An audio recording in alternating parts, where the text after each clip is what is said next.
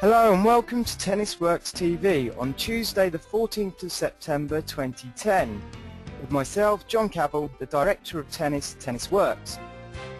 Here's a brief roundup of the latest news in the world of tennis over the past week.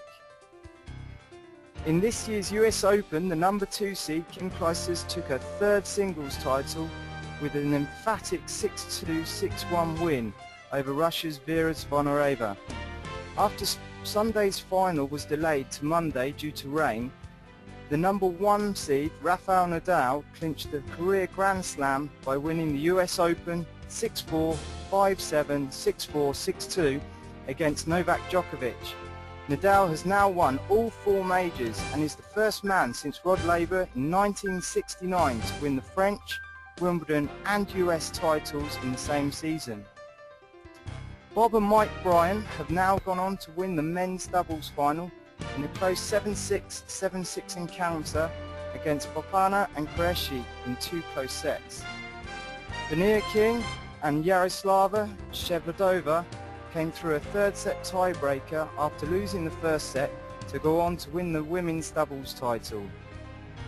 Bob Bryan teamed up with Liezel Huber to defeat Peschke and Qureshi 6-4, 6-4 in the mixed doubles final.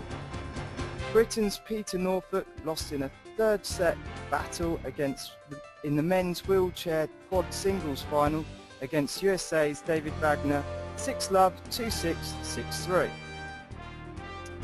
In the juniors, in the boys final, it was an all-American affair with Jack Sock taking the title after losing the first set to Denis Kudla 3-6, 6-2, 6-2. The Russians dominated the girls' final with number one seed Daria Gavrilova beating Yulia Putintseva 6-3, 6-2. Beretta and Quiroz teamed up in the boys' doubles final to beat Britain's Oliver Golding and Czech's Yuri Vesely 6-1, 7-5. And in the girls' doubles final, uh, Babos and Stevens were gifted the title after Mestach and Nuric conceded a walkover. On to more tennis news. And Britain's James Ward defeated Spain's Guillermo Osalaso 7-5, 6-4 in the final of the $15,000 futures event in Spain. Robin Haase of the Netherlands defeated Ivo Minar of the Czech Republic in the final of the ATP Challengers event in Como, Italy. Elliot Dimmock defeated Julian Cash 6-1, 7-6 in the final of the Aegon Junior International Boys Singles at Holton. Issue 1 of the Tennis Works newsletter is now out with articles from leading contributors from around the world.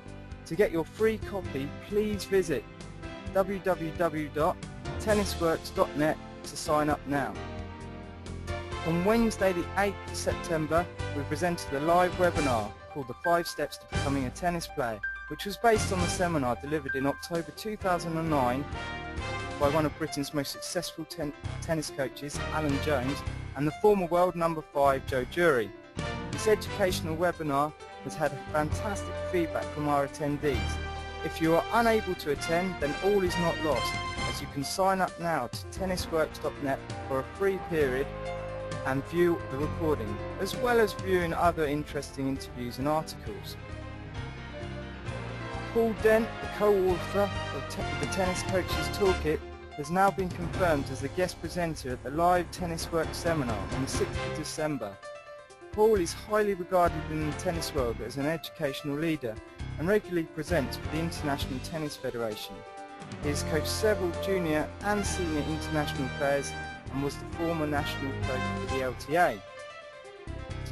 Looking ahead this week, Britain's Liam Broady is seeded number two in the 12 Serbia Junior Open, which is a junior ITF event. The Davis Cup semi-finals are being held with France taking on Argentina and Serbia going up against the Czech Republic.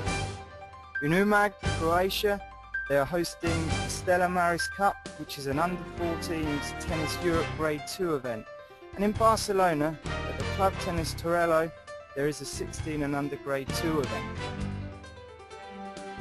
Let me keep you informed about the forthcoming Tennis Works events.